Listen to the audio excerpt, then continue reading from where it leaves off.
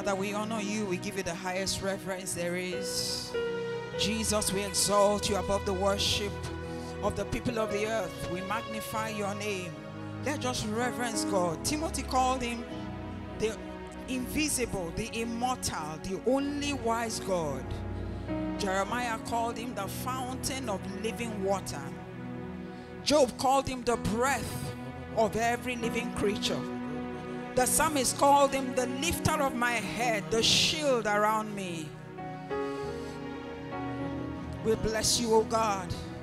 We can go from Genesis to Revelation. Thousands of people have given you thousands of names, and that is because you are worthy. You deserve it all. You deserve it all, my Father. We honor you this morning. We ask that our worship rise up to you as incense in the name of Jesus. Thank you, wonderful Father. Do you know that song? All hail the power of Jesus' name. Can we sing that song in reverence to the Lord? When we stand before God in heaven, is one of the things that we're going to sing. All hail the power of Jesus' name. I want you to see yourself standing before Jesus. Of Jesus' name,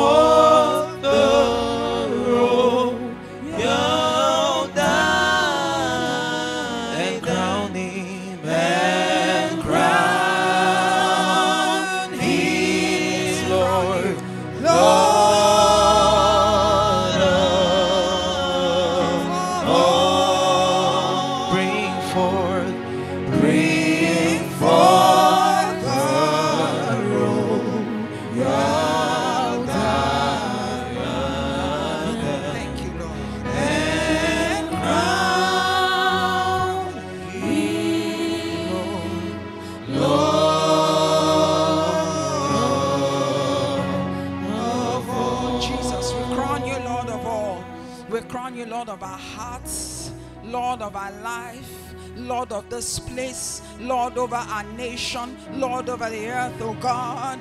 Your commandments are Lord to us, oh God. We glorify your holy name as we've come this morning to listen to your word. I ask that your word will bring direction, it will bring illumination, it will bring wisdom, Lord. It will bring guidance, Lord. In the name of Jesus, give us that bread that will satisfy our soul. In the name of Jesus. Thank you, Holy Spirit, for being in us and for being with us. We glorify you in Jesus' mighty name. Amen. Hallelujah. Good morning. Today we're going to be looking at something very important. You can take your seat if you're here. Welcome our online participants that are logged in from everywhere. If you're listening via radio or you're watching us online, you're welcome to church this morning. This is the Oak House Church where we raise men that look exactly like Christ. Our vision is to model the message, to produce men and women that look exactly like Christ, to be conformed to the image of Christ in such a way that when you see anyone who has been produced by what God is doing in this ministry, that person talks like Christ, that person thinks like Christ, he acts like Christ. Every single thing is exactly like Christ. And that is the focus and the direction of every single thing that we do here. And because of that vision, it controls the sort of messages that we bring from the pulpit. So today we're going to be looking at something very essential, and I will encourage you to concentrate and pay critical attention because what we're going to be sharing today is very vital for your spiritual well-being. So today we're going to be looking at spiritual fitness. How to be spiritually fit. Now we're looking at how to be spiritually fit because in the book of Matthew chapter 22 Jesus painted an alarming scenario. If you read Matthew 25, Jesus painted three alarming scenarios, not one, three alarming scenarios and throughout his ministry, if you observe the ministry of Jesus, he kept on painting that scenario as a warning to us who call him Lord, who follow him, to who serve him. Now, in response, Matthew chapter 25 is a response to three questions that the disciples had asked him. They had asked him, The Bible tells us in uh, Matthew 24, really where the discourse started from. They, uh, they were on the Mount of Olives, and the disciples asked him three questions. Number one, they said, What shall thi- when shall these things happen? You know, talking about the end of the world. Number two, they asked him another question: What shall be the sign of your coming? Number three, they said, What shall be the end of the world? So they asked him three questions as we begin Matthew chapter 24, and then in the whole of Matthew 24, Jesus was talking to them about the signs of the end time, how to know when Jesus is coming, and all of that, because he did not want us to be caught unawares. That is what happened in 24. Now he continued the discussion in 25, and what he did was in Matthew 24 he painted a picture of what will happen during the last days. In Matthew 25, in still continuing that discussion, he now began to bring solution.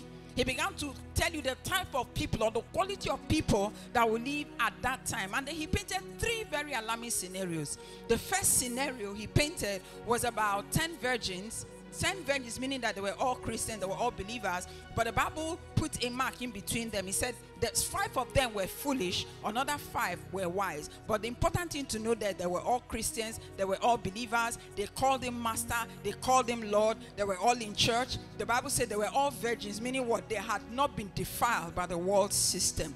But if you notice at the end of that verse, the Bible says that when Jesus came, when the bridegroom came, they were shut out and he made a statement to them. He said, I don't know you. And the second scenario he painted was about somebody who gave talents to his servant. He gave five, he gave two, he gave one. The Bible tells us that when that master came back, he began to ask report from the people that he had given this talent. And, you know, he congratulated or um, what do you call it? Uh, praised the people who did well. And the one that did not do well, the Bible said that that one was cast into the lake of fire. He painted the third alarming scenario, and that is about somebody who um, those people who ignore the less privileged and all of that, there are five of them the gatekeepers, he said, the poor, the naked, the hungry, the prisoner, and all of that. And why I call it alarming scenarios is that if you read the whole of Matthew 25, those people that did not make it at the end of the day were not unbelievers. So in Matthew 25, he was not addressing people who do not go to church, he was not addressing people who do not read their Bible, he was addressing people who called him Lord. In all these three scenarios, the people called him Lord. The people called him Master. The people came to church. The people believed. The people did all those things that we would typically all do. But why did I say it's alarming? They did not make it. So that's why the matter of being spiritually fit is something that you must know. You can't guess because eternity is too long to be wrong. You can't when you cross over to eternity, that's when you now realize, wait a minute, oh, I should have done this, I should have done that. When the door is shut, Jesus said that when the master shuts that door, that is end. The door has been shut. You are disconnected permanently from this side of life, and you now face an eternity. So that's why you need to understand how to be spiritually fit. In the backdrop of that, if you read what um, Jesus said, maybe we should do a little bit of reading. Let's look at Luke chapter. Okay, let's read Luke chapter 13 if you want to dovetail from where we read in Matthew 25, Jesus was repeatedly making this warning. If read from verse 23 of Luke chapter 13, the Bible says to us, Then one said to him, because if you read the previous verse, he had been going from city to city preaching. Then the Bible says in verse 23, Then one said to him, Lord, are there few who are saved? And he said to them, strive. If you read NLT, it says struggle or work hard. If we have the NLT version, uh, I will read it from that particular scripture. It says work hard.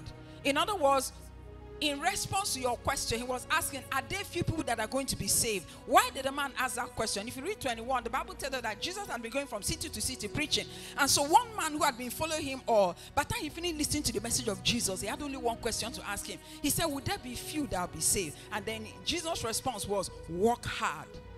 In other words, some translations say, Make every effort put in the energy, put in the work that is required. This is coming from Jesus.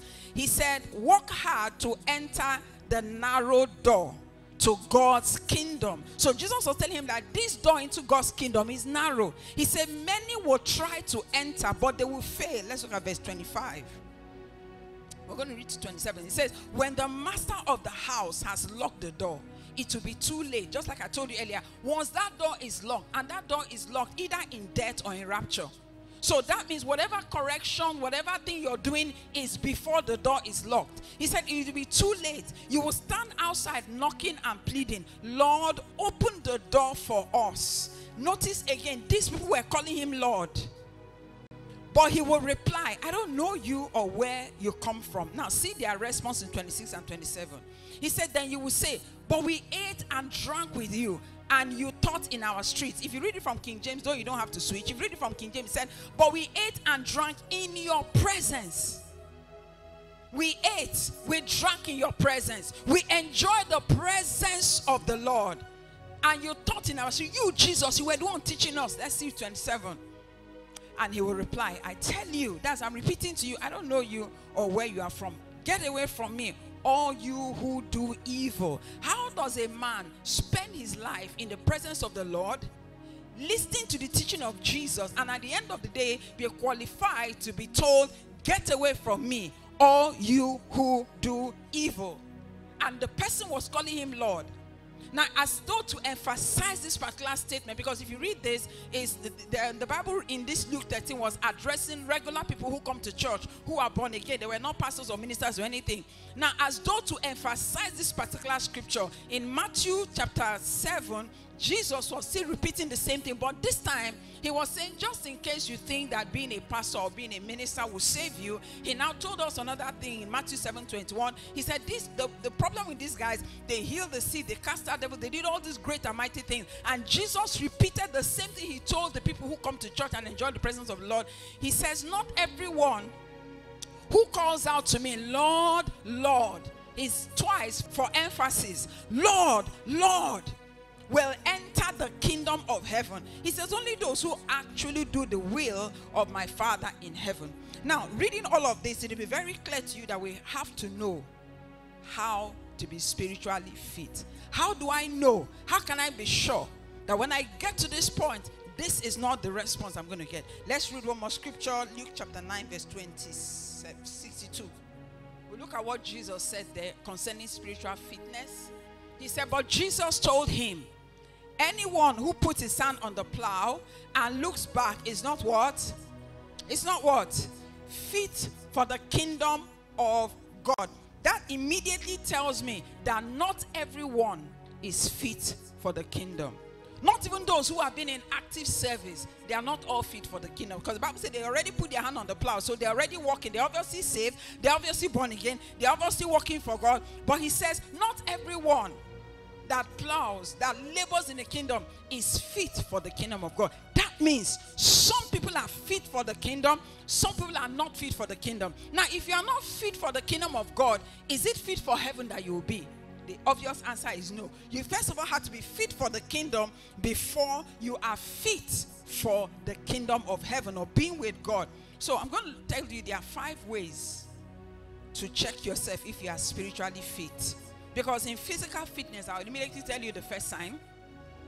If I tell you to run from here for like a mile, by the time you do one kilometer, you're already out of breath, you're already panting, you're already gasping, you're already dying. That already immediately tells me that you're what? You are not spiritually fit.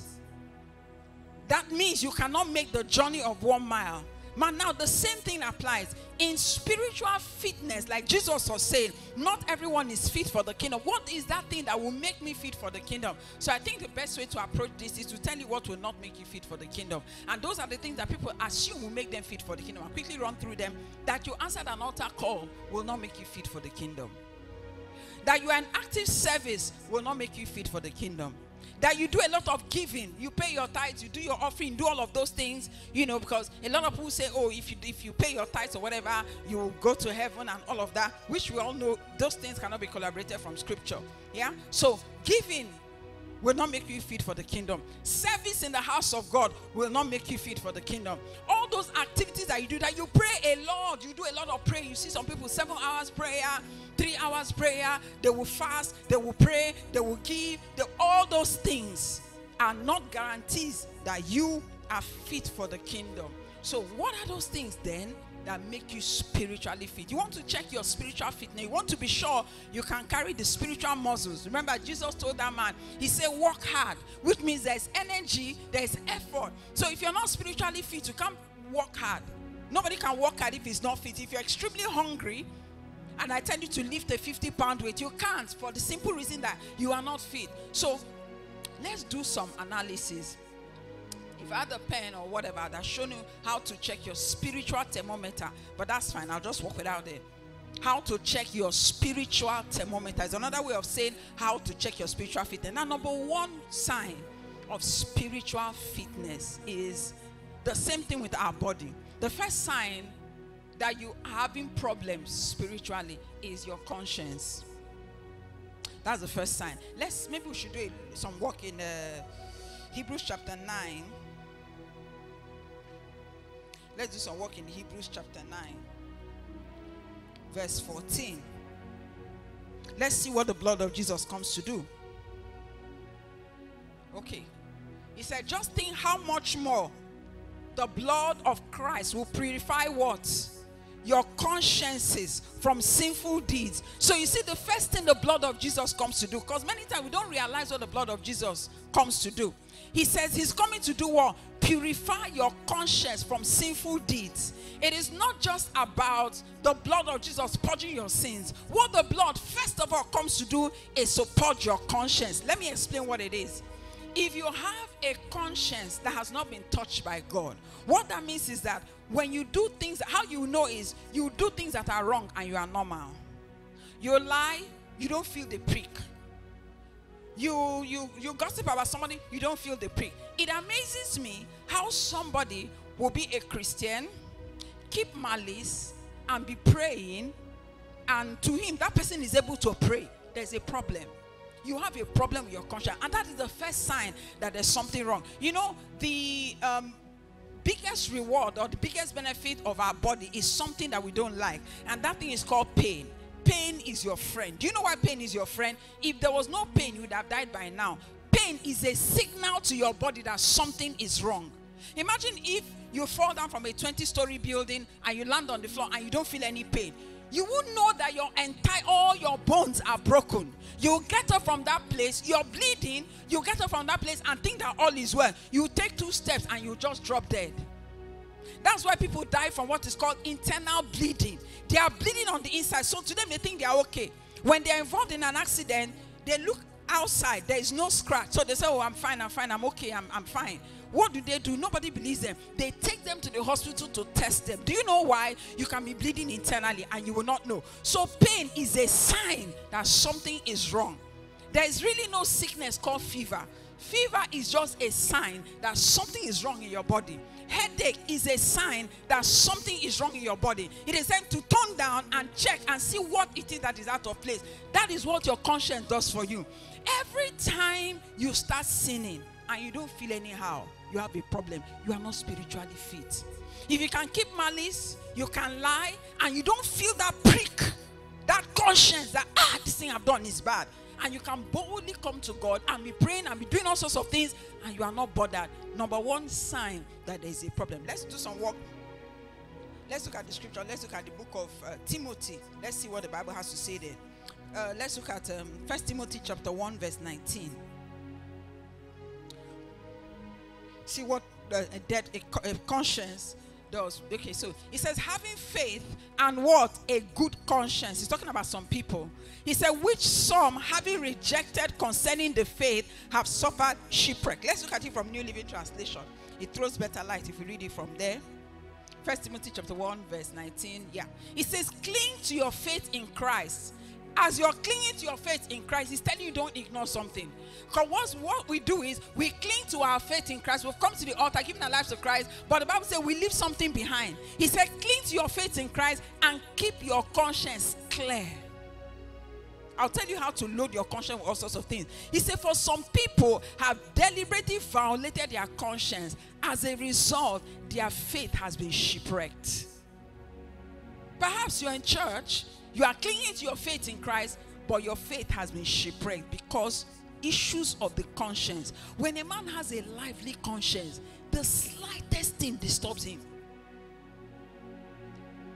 If you genuinely gave your life to Christ, do you know that when you break state laws, it disturbs you? I'll give you an example. If you're driving and you throw paper out of the window, how do you feel? You feel bad as though you had killed somebody. What's his name? Paul Washer was telling was you know was preaching, and he said, him, him and his friend, his him and his friend, they went to um, a bookshop. They were looking for this particular book. You know, for a long time. Then somebody told them that it is in a particular bookshop. So him and the friend they ran inside the bookshop and they saw that there were only two copies left.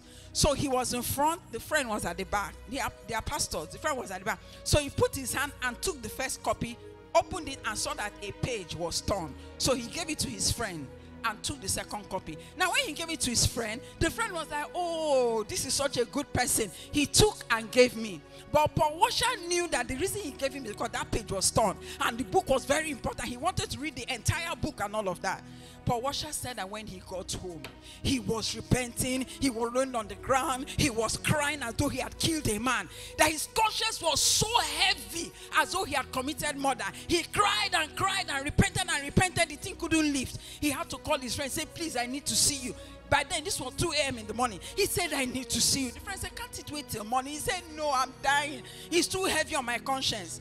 And then he drove all the way to his friend's house, knelt down, began to beg the friend. The friend said, What happened? He said, You know why I gave you the book? Is because it was torn. That's why. He said, Is that why you are crying? He said, Yes, it's heavy on my conscience. Please forgive me. You know that thing he did? The man has a lively conscience. He said he was crying as though he had killed a man. But there are people that lie and they are normal. There are people that steal and they are normal. There are people that are proud and they are normal. There's a problem. Your faith has been shipwrecked. He said, Listen, cling to your faith in Christ. So, but you see that your conscience, you're going to keep it clean. Some people have seared their conscience to a hot iron. How do you do that? The Bible tells us about it in 1 Timothy chapter 4, verse 1 to 2. Some people have how do you sear your conscience with a hot iron? When you constantly sin and sin and sin deliberately. You know, let me explain. When you take a sheet of paper and you take a pencil and you write on the pencil, so the sheet of paper is your conscience, is white. The pencil is sin. The eraser is the blood of Jesus. So let's do some exercise. So you sin, you write with the pencil. The, the eraser comes and cleans it. Would the eraser clean it? If you write on that person 10 billion times a day, would the eraser still clean it? Yes. Of these three elements, which one will be getting damaged? Is it the paper, the pencil, or the eraser? Which one? The paper has a problem because the more you clean, you keep cleaning, cleaning, cleaning, cleaning. After some time, the paper starts shredding. So the more you sin, you know how people are, let me sin, I'll repent later. As you keep doing it, there are people that say, Well, God will forgive me tomorrow. As you keep doing it, when you repent, God will forgive you. But something, you're weakening your conscience. When you allow sin to stay, that's why Jesus said, Don't allow your anger wait till the next day. When you allow those things, when you allow unrepented sin to stay, you are weakening your conscience. It's no more lively, it's no more sensitive to the Holy Spirit. So when you are going wrong, the Holy Spirit can no more point to you and say, Look, there's a problem. If when you gave your life to Christ, you know, Ken Hagin said that when he tells somebody, You are foolish, he, one day his friend made a comment, and said, Oh, you are foolish, just go away. Just a casual statement. He said he couldn't sleep. He felt so bad. He went to go and repent. But today we insult people, we abuse people, we curse people, and we are normal. And we can actually go on our knees and still pray. The Bible says you have made a shipwreck of your faith. The Bible says in First Timothy chapter 4, verse 1, now the Holy Spirit tells us clearly that in the last times, watch, he says some will turn away from the true faith. What does that mean? They were in the true faith before, but they turned away. They will follow after deceptive spirits. King James called it seducing spirits and teachings that come from demons. King James calls it doctrines of devils. He said in the last days, you're going to see a lot of that. See what he says in verse 2 of that same scripture. He said, These people are hypocrites, liars, and their consciences are dead. They were they turned away from true faith because you know what? Seducing spirits came and seduced their heart. What do these seducing spirits do? They begin to gradually seduce your heart away from God. And then you shift away from having faith towards God. And next thing you know that you're now pursuing the things of life. The seducing spirits have seduced your heart away from the Lord. You come to church no more because of Jesus, because of what you can get. Your heart has been seduced. And when that happens, the Bible says your conscience has a problem. Your conscience is no more a safe guide. You lied yesterday and you are normal. You can, you know, I watch um, what do you call that? A lot of crime movies because I like the way the detectives reason. So sometimes they'll say, "Look into my eyes and tell me that you didn't kill this person. In my mind, I'm like, you gotta be kidding me right now. Of course, you look into your eye and tell you I didn't kill the person. Why? He has a dead conscience.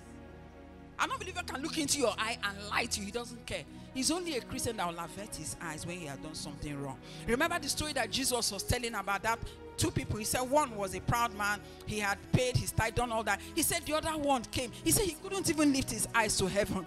He said, "Oh, have mercy on me. You know, I am a humble person. I am this. Is have me." The Bible said one thing. He couldn't even lift his eye to heaven because when that one sins, he has a conscience that pricks and disturbs him. Does your conscience still disturb you when you do things wrong? When you do the simplest things, does your conscience still disturb? If it doesn't disturb you, if you can lie, you can cheat, you are not spiritually fit. Let's take a look at the second thing. I'm trying to be fast. Let's take a look at the second. I'll lump the second and the third one together. How do you know that you are spiritually fit. The reason for the first spiritual fitness is so that when you do something wrong, the Holy Spirit can immediately correct you. If not, you'll be a liar and you have developed the habit of lying. And when you get on that day, you say, I am a Christian liar, the door will open for you. They are Christian liars, they are lying pastors. The Bible, in fact, Jeremiah called the lying prophets. How do you put lying and prophet in the same sentence? They are lying prophets. Jesus said, These prophets have deceived my people. They've given heed to doctrines of devils. They are fornicating pastors. They are hypocritical pastors. There are so many things pastors, normal people, everybody. But what will save you is if you go back to God and say, Lord, purge my conscience. Give me a soft, tender, lively conscience that cannot tolerate sin, that cannot tolerate anything that is wrong. The reason when you get it, the slightest you're able to pick it. When you go on your knees and something is wrong, the Holy Spirit can quickly correct you you can quickly repent. That's how you know. So, number two and number three, I'm going to pull them together because every time one is mentioned, the other one is mentioned together. So it's called righteous. Okay, let's read first John 3:10. So when I'm, I'm done with these five, I want you to mark yourself and know whether you're spiritually fit or not. So John was teaching us two other symptoms of you know spiritual fitness. So now we can tell who are the children of God and who are the children of the devil. Don't you want to know who are God's children, who are Satan's children? I want to know. So he said, anyone who does not live righteously. The reason he used the word anyone is because whether you go to church or not, whether you're a pastor or not, whether you're a believer or not, he's saying anyone who does not live righteously and does not love other believers does not belong to God. That's intense. That means you can be in church, you don't belong to God. You can be an usher, you don't belong to God. You can be a pastor, but you don't belong to God. The sign that you belong to God, two things. One, that you live righteously. The second is like the first, that you walk in love among believers. Let's take a look at another scripture. Let's look at um, First Thessalonians chapter 4. we read from verse 7 to 9. I noticed I was doing a study on this and I observed every time righteousness is mentioned, love comes somewhere around there. Meaning you can't do one without the other. We're going to read uh, verse 7, 8, and 9. If you want to pull the three of them, this is a good time to do that. So we'll just read all at the same time. Great, thank you. He said, God has called us to live holy lives, not impure lives. This is our calling. This is what He has called us to do. This is why you are saved. He said, Therefore, anyone who refuses to live by these rules is not disobeying human teaching, but is rejecting God. So, can you imagine when, what the Bible is saying that when you live an impure life, you are rejecting God? It's not just that you disobey the law, you are rejecting God. You are signing yourself out of the kingdom register. It means that you are signing yourself out of the book of life. Jesus will not remove your name out of book of life. You do it by yourself by living an impure life. The Bible says you are not disobeying, refuses to live by this rule is not disobeying human teaching, but is rejecting God. Who gives his Holy Spirit to you? Let's look at verse 9 then. He said, But we don't need to write to you about the importance of loving each other. Did you see? Immediately after teaching about holiness, the next thing he talked about love. You see it again in First John chapter 3, verse 10. The two of them go hand in hand. You can't pursue righteousness with God and not pursue love for the brethren. Let's pull out another scripture that will help us. Hebrews chapter 12, verse 14. Walk at living in peace with everyone and walk at living a holy life. Do you see again? love, righteousness, peace with men, holy living. You can't separate them. A truly holy man walk in love. A truly righteous man will walk in love. A sign that you are not walking in holiness is the fact that you don't love brethren. I'm going to show you the three dimensions of love very quickly. He said, Walk at living in peace with everyone and walk at living a holy life. For those who are not holy will not see the Lord. King James puts it this way He said, Pursue peace with all men and holiness without which no eye will see the Lord. Let no one deceive you. Holiness is a prerequisite for your spiritual fitness. Remember all the scriptures we read. Jesus said, Depart from me, you workers of iniquity. Depart from me, you workers of iniquity. He said, If you live an impure life, you are writing yourself away from the kingdom of God. So I'm going to answer a question. Maybe some of you have in your heart Must I be perfect? What if I make a mistake now and rapture occurs now? Where will I go?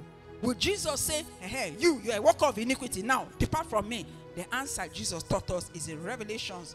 So it will help you understand something. Revelation chapter 2, verse 18 and 19. He was teaching a particular church this. We read it from this King James. I would like us to read it from King James 18 and 19. Then I like the way New Living Translation puts it. But let's read New uh, King James Version first, or New King James, whichever one. Revelation chapter 18, verse 19. We'll read that one, then we'll come to NLT version. Okay, so I'll read it from here. He says, Christ's letter is writing to the church in Thyatira. Let's read from King James first or New Living Translation, then we'll come back to NLT. I want us to look at how we put it there, then we can now come back to this. But I'll read it from my from, from here. He says, Write the following to the messenger of the congregation in Thyatira, for these are the words of the Son of God, whose eyes are blazing fire, and whose feet are like burnished brass. Now, pay attention to verse 19. He says, I know all that you have done for me, your love and faith your ministry and steadfast perseverance. In fact, you now excel in all these virtues even more than you did at first. What is Jesus talking about here? He said, You are doing all those good things, but he now made a comment. He said, You are doing better now than when you first started. This is what Jesus is looking for. He said, I see constant improvement. I see constant improvement. I see that you are better now than you were before. If you read King James, he said, I see that the last is better than the later. If we have King James, yes. He says, I know your works. In other words, everything you are doing for me, I know it. I'm seeing it. I mean, this is very comforting. He said, I know your charity. That's your love. He said, I know your service. This is great. That means as we serve God, He's taking notes. He says, I see your patience, your works, and that the, and the last to be more than the first. What's he saying? How you were last year is not how you were this year. You're getting better. How you were in 2019 is not how you were in 2020. How you were in, in January is not how you were in March. Jesus wants every day purity. You're increasing in purity. So that's what he's looking for constant growth. Where Jesus has a problem is when you are not making any plans to change. That's where the problem is. So when he came to this church, he now come after this verse, he now complained and said, There are some of you who are following teachings of Jezebel, and then he made a statement to them uh, verse 24. Let's see what he said to them.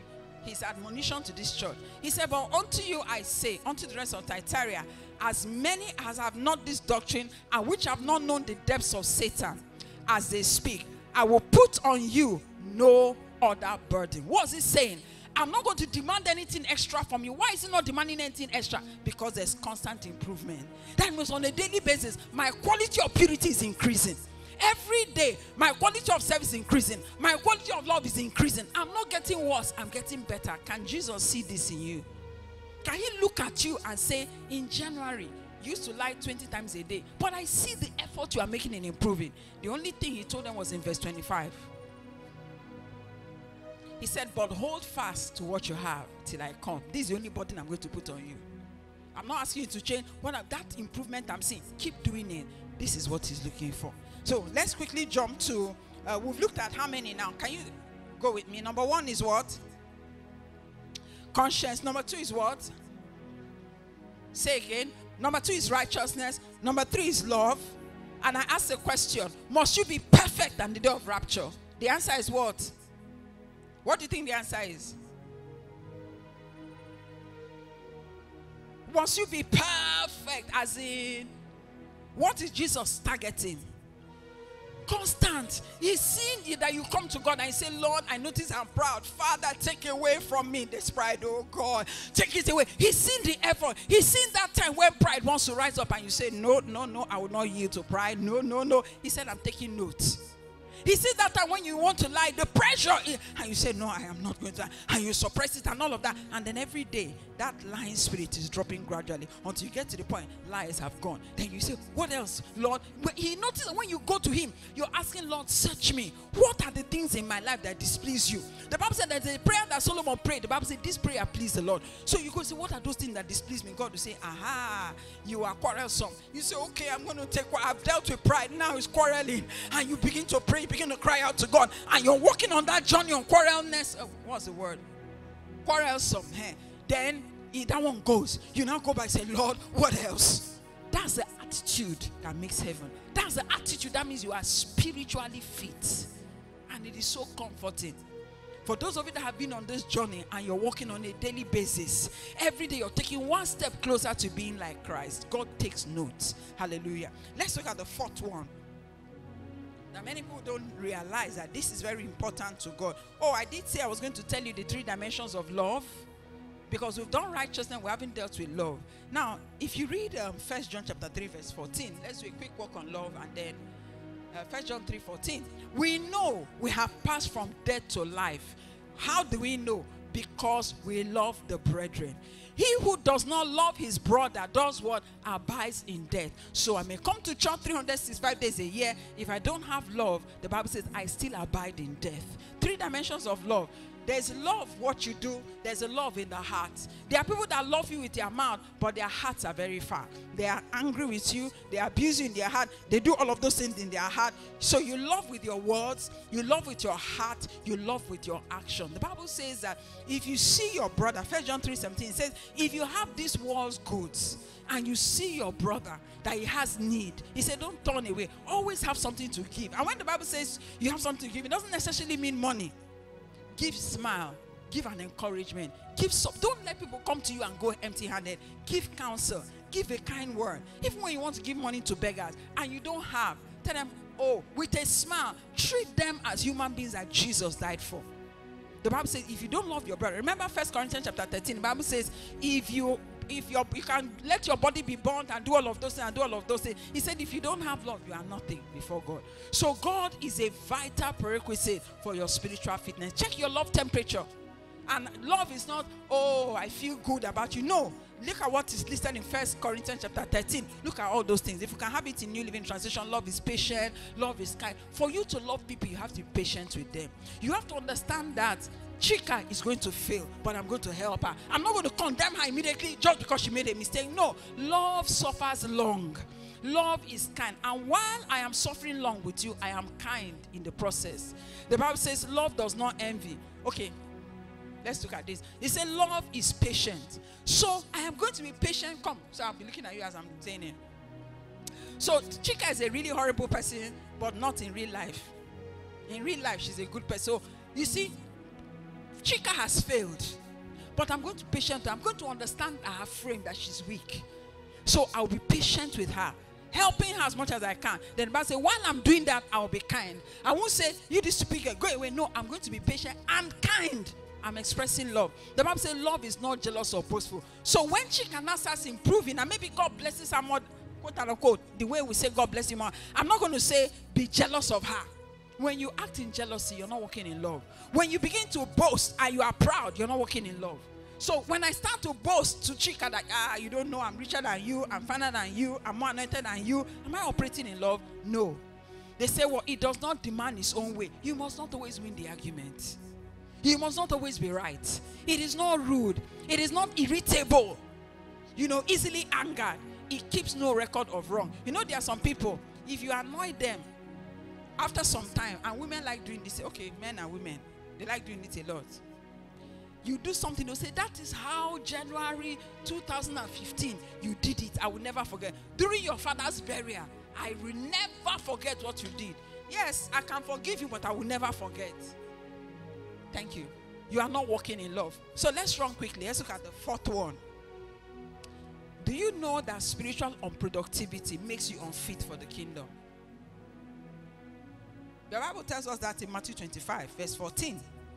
Spiritual unproductivity. You're not producing anything for the kingdom. That means people just come to church and sit down. They're not doing anything. No productivity. You're not spiritually fit. Look at what the Bible says. For the kingdom of heaven is like a man traveling to a far country who called his own servants and delivered them and all of that. You know the story. He gave them talents. He gave five. He gave ten. He gave one and all of that. So let's look at verse 30. This is the end of the story of those who he gave talents. Look at verse 30. Oh, Matthew chapter 25. He says, and cast what? The unprofitable servant into where? Outer darkness. That guy went to hell. He said, where there'll be what? Weeping and gnashing of teeth. For those who argue that it is heaven, okay, no problem. Do you want to be in heaven where you be gnashing your teeth and weeping? Let's even assume it's heaven. Is this the kind of heaven you want to go to? Spiritual unproductivity. There is nothing you are doing to advance the kingdom of God. I'm telling you, you are not fit for the kingdom. It's part of your spiritual fitness. What am I doing? Some people, all they do is come to God and collect and collect. Even their prayer is all about God, give me this, God, give me that, God, give me this, God, give me that. You're not spiritually fit. Have you ever asked yourself, what am I doing for the advancement of the kingdom of God? How am I contributing to what God is doing? You wake up in the morning, you have your bath, you come to church, you see that you say, they didn't put the chair well. This church is scattered. Why did they put the blue light? Why didn't they put yellow light? The media people, they are very disorganized. The other day, network, what, what are you doing? What have you added to the advancement of the kingdom you call your own? You are unfit for the kingdom. Is there. Cast what? So ask yourself, number four, am I a profitable servant or am I an unprofitable servant? Let's quickly go to five as we begin to round up because I want us to do some check. When you ignore the gatekeepers of heaven, Matthew 25, let's go at verse 44. These are the things that Jesus taught us by himself. Then they also then they also will answer him, saying, Lord, Lord, when did we see you hungry? Or take note of them. The first person is what? The hungry. The second is what? I'm calling them the gatekeepers. The first is the hungry. The second is the thirsty. The third is the stranger. The fourth is the naked. The fifth is the, um, the sick. And the sixth one is what? The prisoner. And did not minister to you. Then watch Jesus reply in verse 45.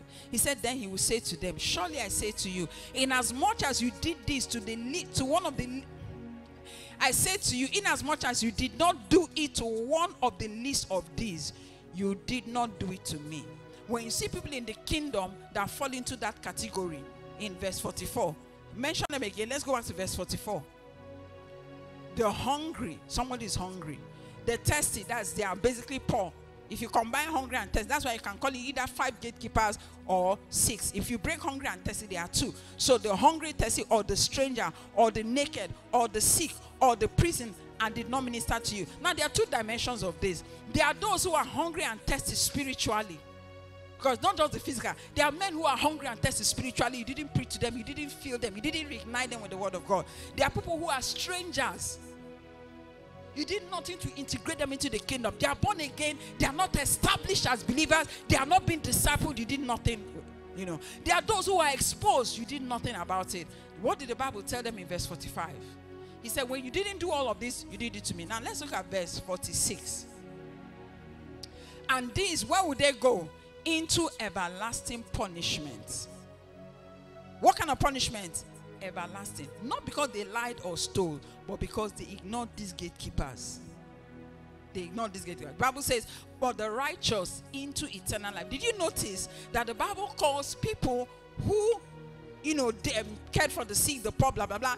He called them the righteous. Those who did not. If you're not righteous, what are you? Unrighteous.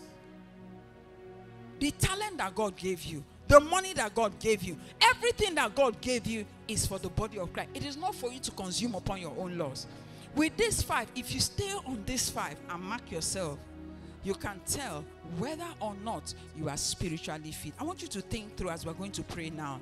I want you to ask yourself, Am I spiritually fit? And if I'm not, where am I failing? Where is my issue? Have I sat down and I'm not involved in the, the, the last becoming better than the first? The way you are Is there any improvement? Can you really point to one improvement from January till now? Can you really point to one improvement from last week till now? Can somebody look at you now and say, Ah, you have really changed? If you're a husband, ask your wife, Have I changed? If you're a wife, ask your husband, Have I changed? Are you still doing the same things you were doing when you were not saved? Are you still doing the same things you were doing when you were a young believer? You are not spiritually fit. You are not spiritually fit. We looked at the second what is the quality of your righteousness? What is the quality of your love? What is the quality of your conscience? You see that your conscience, you lie. People even come to church and they steal church offering. They do all kinds of things. You are not spiritually fit. If you look at the churches, if you join us on Thursday by 4 p.m., we're doing a series on the churches. You see the kind of thing that Jesus commended. Studying that seven churches, we'll take a look at it. Pastor is taking us on that series on Thursday.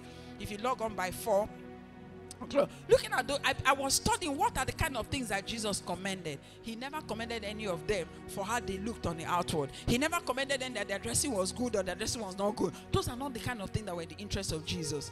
Look at the kind of things that were the interest of Jesus. Look at the kind of things that Jesus commends in a man and the things he complains in a man.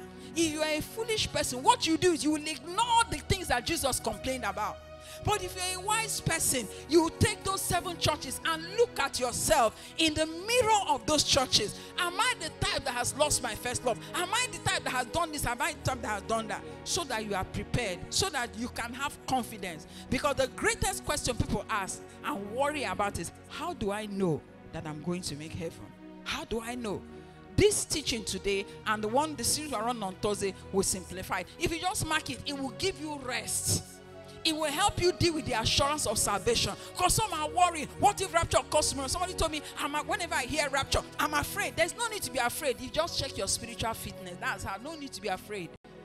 There are people that are looking up, waiting for the coming of our Lord Jesus. The Bible says that those, Hebrews 9 38, he said that Jesus is not coming for everybody. He's coming for those who are looking forward to his appearing. How can you look forward to his appearing when you are not spiritually fit? But if you have marked yourself on this and you see that you're spiritually fit, well done. But let me tell you what Jesus said. He said, every day, keep taking one step closer. Keep taking one step closer. Don't yield to seducing spirit. What are seducing spirit?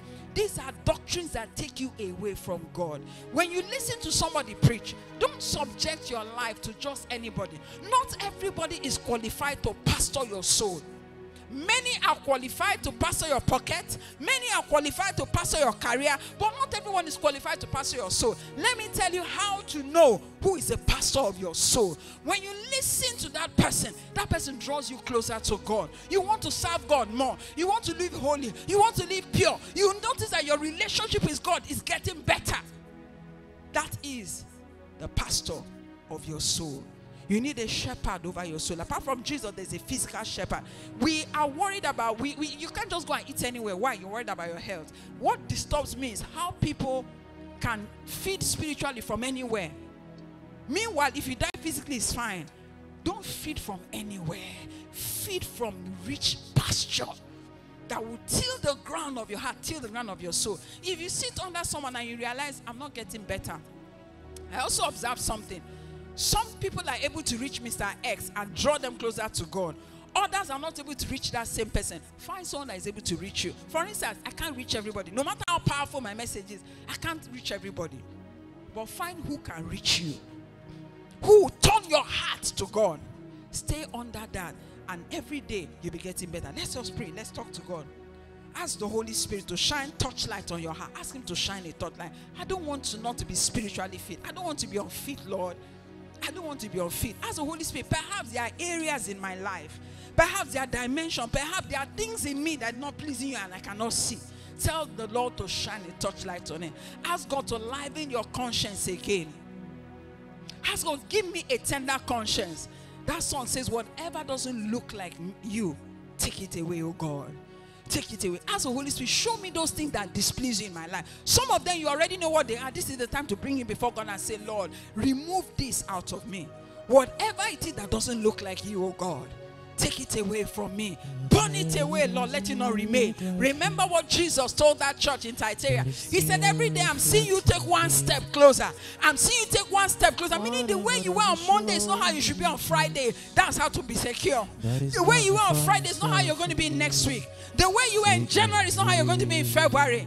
Is there constant growth in your spiritual life? Marked growth that you can point to, not in the spirit, not guesswork. You are not guessing about your improvement. You can actually see. Yes, last month I was a liar, but now it has changed. Last month my conscience could tolerate lies, my conscience could tolerate pride, my conscience could tolerate disobedience, but this month my conscience can no more tolerate it. That means there's improvement taking place. That means you are growing. That means you're increasing your in, in your spiritual fitness.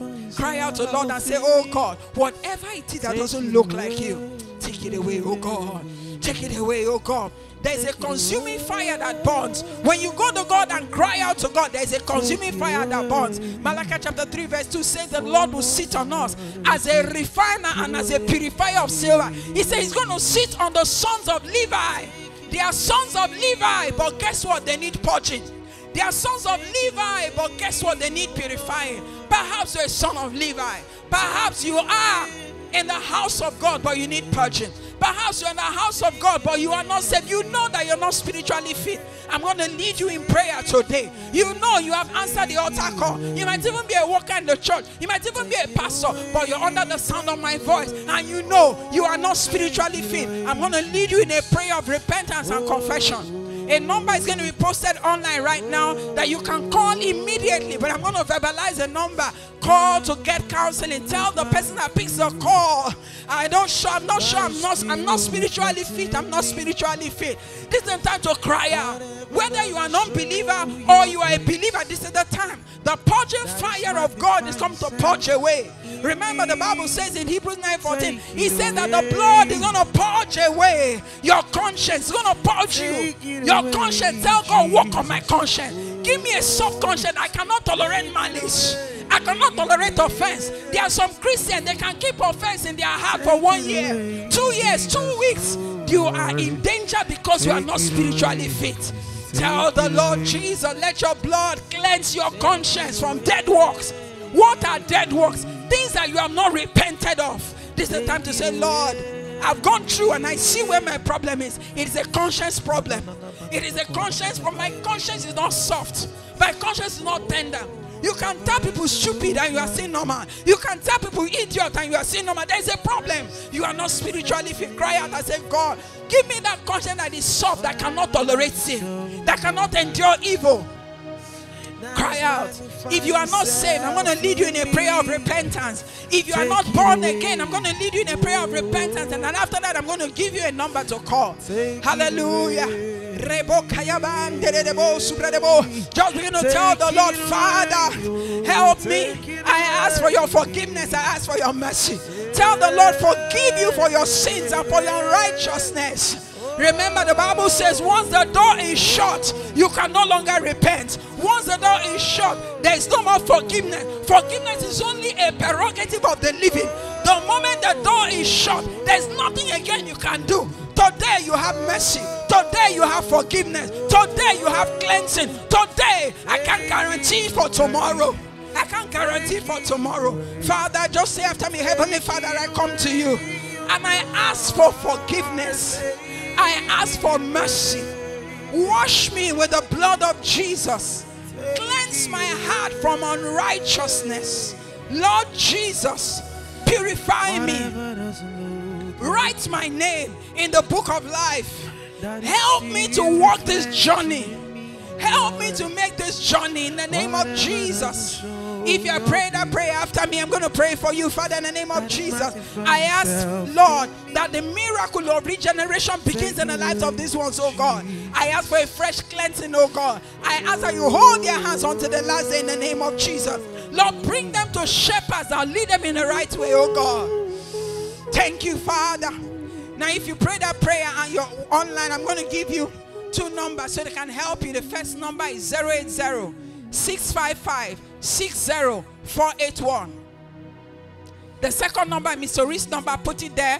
Any of these two, they're going to help you. They're going to guide you through the process. The number is being is on your screen right now, so that you can know what it takes to make the journey. If you want a shepherd to lead you on the journey of life, if you want to make it in eternity, what you need to do is what we have taught today. Check your spiritual thermometer. How hot am I? How hot am I? If you have made that prayer sincerely from the depths of your soul, I'm going to call out the numbers again. The first number is 080 655 60481. The second number is 08063606765. If you're calling internationally outside Nigeria, I'm going to give you the number plus 234 655 60481 or plus 234 You might be listening via radio, Instagram, Facebook, whatever channel. Call these numbers right now. Somebody is waiting to take your call and to help you on the journey of life. Just go ahead and bless the name of the Lord for today. Thank Him. For some of us, He has brought calmness. For some, He has brought assurance that don't worry on that journey. Stay on the journey. For some of us, He has pointed you in the right direction, telling you you still need to make amendments here and there. As the Holy Spirit, where are those areas I need to make amendments? Don't let me fall. Don't let me fall. Keep me burning, oh God. Keep me burning up until the end of day. Father, we give you praise. Whatever doesn't look like me, thank you, Lord. Just tell him. Give me fire in my heart, I pray. Oh.